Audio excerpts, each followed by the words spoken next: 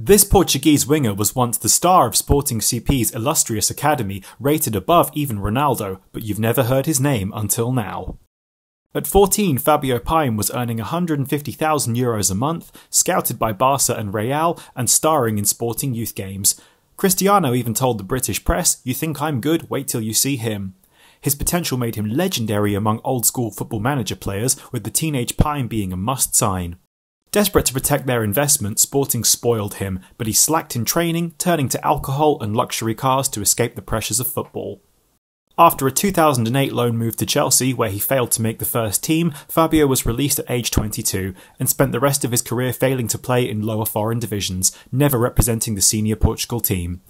It goes to show how much Ronaldo's determination and hard work contributed to his success, unlike